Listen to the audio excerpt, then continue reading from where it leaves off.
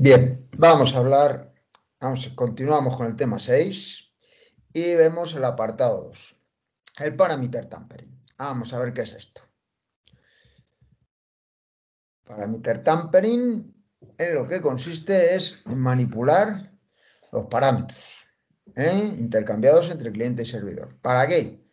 Pues manipularlos para provocar un funcionamiento inadecuado de la aplicación. Esa es la idea. Por ejemplo, comprar un billete de avión a un precio muy bajo.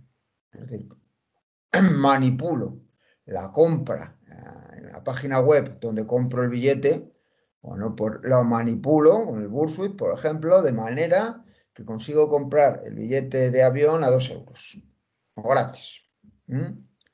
O bien resulta que voy a comprar una entrada para un espectáculo, el que sea, y para el teatro y resulta que, no hay, no hay, está agotado. Bueno, pues manipulo la petición para que, para que me dé la entrada, me dé una entrada.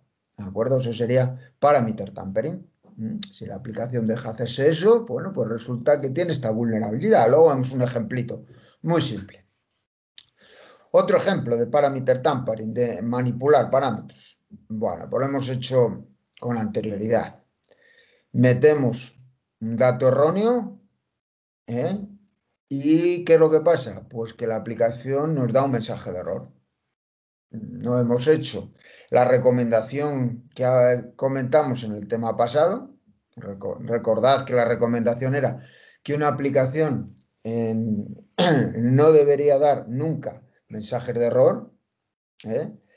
Entonces, eh, bueno, pues como no hemos seguido esta pauta, pues metemos un, dato raro y aparece un mensaje de error. Y ese mensaje de error me da una información para posiblemente realizar luego ataques. Por ejemplo, recordad la comilla simple para SQL Inject. Me da un mensaje de error asociado al sistema de gestión de base de datos y ya intuía que era vulnerable. Es parameter tampering, manipulación de parámetros. Vale, obviamente estos parámetros tienen que ser validados, son datos no fiables y tienen que ser validados, ya lo hemos comentado antes. Pero eh, hay muchas veces que por mucho que valides, el parameter tampering se puede realizar. Pues como vamos a ver a continuación en un ejemplito muy, muy sencillo. Un ejemplito muy sencillo en donde, bueno, pues tengo una, una aplicación de correo electrónico que resulta que cuando yo le doy al botoncito de comprar un artículo, bueno, pues en ese, en ese formulario, formulario, comprar es un submit, pues resulta que vienen datos ocultos, como por ejemplo el precio del artículo. Yo no lo veo, pero ahí va oculto el dato. De manera que cuando compro voy diciéndole cuál es el precio. Vamos a verlo. Vamos a ver aquí. Bien, es esta aplicación, muy parecida a la del tema pasado, el tema de SQL Injection, que cuando le doy a un producto, bueno, pues me aparece no solo el producto y sus características, sino un botoncito de comprar. Este botoncito de comprar, pues si os fijáis, es este. Este formulario es.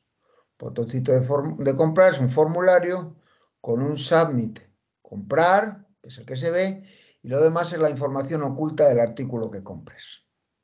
De forma que cuando le das al botón de submit, mandas toda esta información. ¿Vale? Está oculta.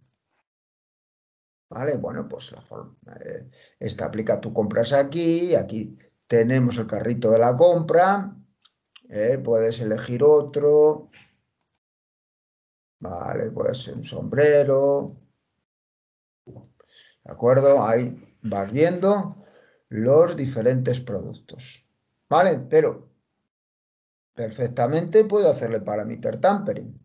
¿Por qué? Porque puedo cambiar los datos del formulario. Pues, por ejemplo, digo, vamos a ver, quiero comprar una, otra chaqueta. Pero resulta que el precio de 125 euros es muy caro.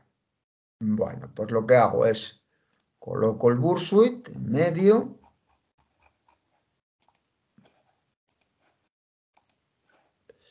Bien, y una vez colocado el bursuit,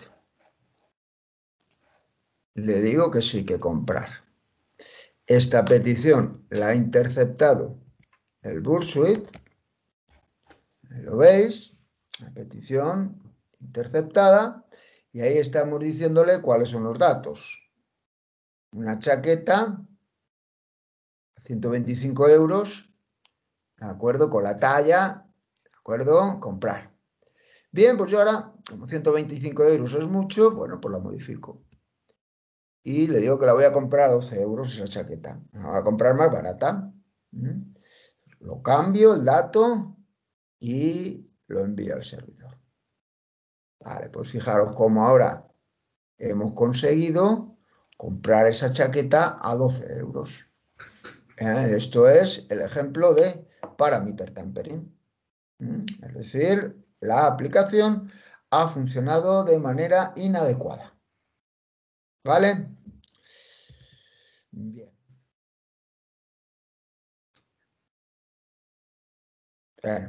la validación de los parámetros de entrada no hubiera evitado el ataque. Por mucho que hubiera validado el parámetro precio, pues entre 125 y 12 es un número entero, no hubiera evitado el ataque.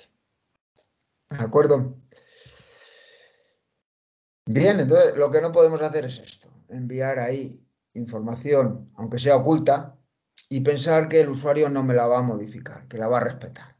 Pues no necesariamente, hemos visto como un usuario malicioso, pues me la puede cambiar. ¿De acuerdo? Entonces, ¿qué es lo que tendríamos que haber hecho? Bueno, pues enviar únicamente el identificador del producto. ¿De acuerdo? Nunca el precio. El identificador del producto, quizá con la talla, sí, pero nada más. ¿Eh? De forma que el precio se tenía que haber obtenido, lógicamente, bueno, pues en la base de datos. A partir de ese identificador del producto, tenemos el precio del producto. ¿De acuerdo? Entonces, no me lo pueden cambiar. ¿Mm? Esa es la idea. Recoger, utilizar fuentes más fiables para los datos. No enviárselo en el formulario, sino utilizar fuentes fiables como son los datos del propio servidor, ya sea en la base de datos o en los datos de sesión del usuario. ¿De acuerdo? Esa es un poquito la idea del eh, parameter tampering. Incluso tampoco sirve de nada enviar eh, los datos codificados en base 64. Es decir, los mismos datos de antes, pero codificados. ¿Por qué? Pues porque si solamente van codificados, se pueden codificar. Se puede hacer perfectamente.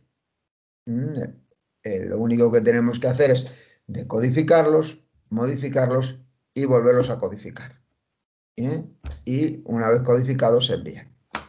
¿Vale? Bien, pues esa es la idea del el parameter tampering. Venga, hasta la próxima.